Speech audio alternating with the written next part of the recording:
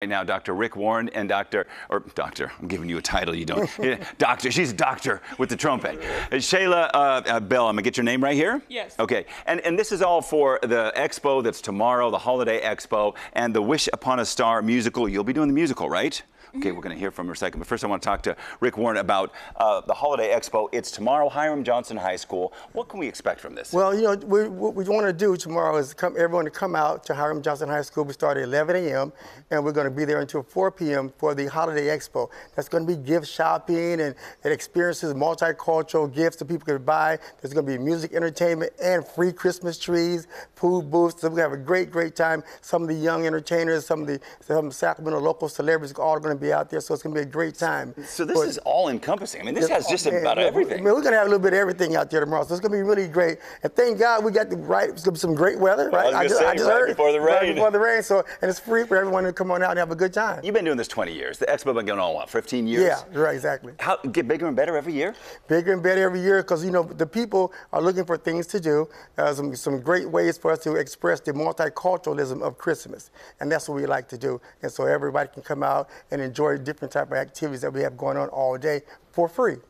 Talking of activities going all day, the Wish Upon a Star musical. You're going to be part of this, Shayla. What? How long have you? First of all, how long have you played the trumpet? Since I was 12 years old. Since you were 12 years old. And this has actually helped you get over some disabilities, correct? Explain how that's worked.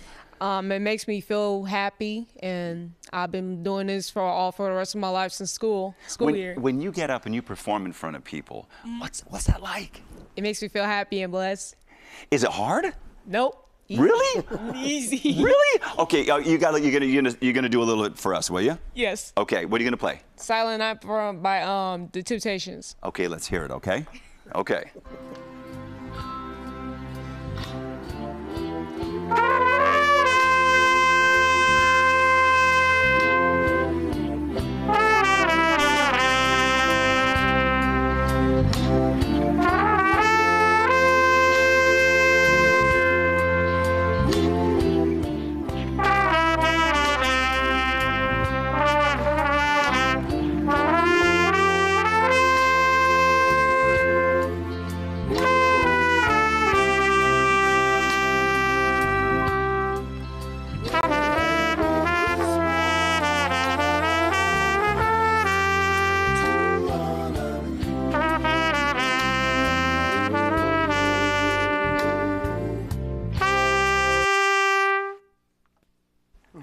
How did you like it?